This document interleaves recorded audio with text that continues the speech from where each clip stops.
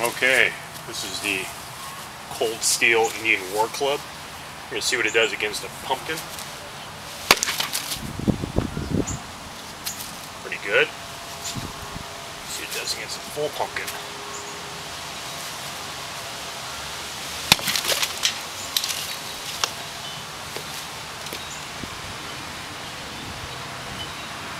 Pretty wicked wound.